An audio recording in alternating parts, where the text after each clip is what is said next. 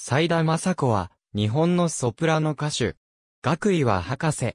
夫は、昭和大学医学部講師である、斉田春人。斉田雅子という表記も見られる。愛媛県松山市出身。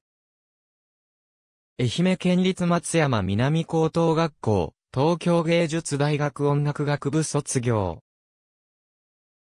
1992年に、同大学大学院音楽研究科オペラ、専攻博士課程を修了し、学位博士を取得。声楽を、佐藤洋三、岡部滝子、東敦子、V ボッローニ、A ベルトラーミ、R エリーに指示。在学中には、第17回日位声楽、コンコルッソで入選する。1984年から1986年の間は、国際文化交流財団の小学生として、イタリア・ミラノに留学。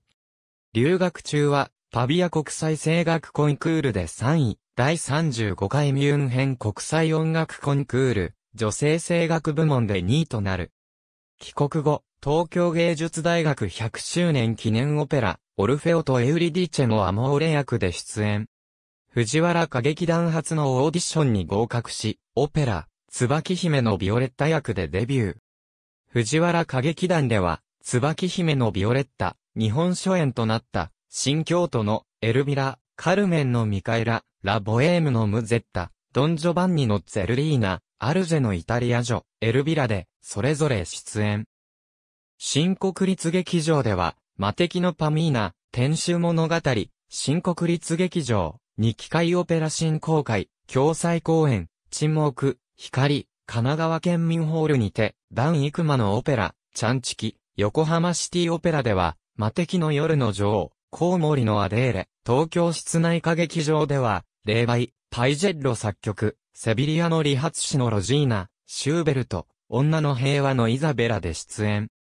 その他には、民音オペラ公演、スペードの女王のリーザ、小沢誠治オペラシリーズ、イドメネオのイリア、グローブ座公演、ハムレットのオフィーリア、モーツァルト劇場、高級からの闘争のコンスタンツェなどに出演。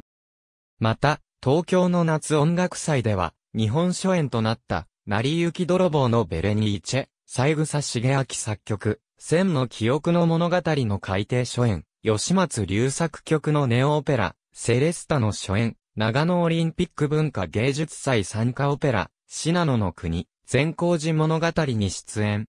ありがとうございます。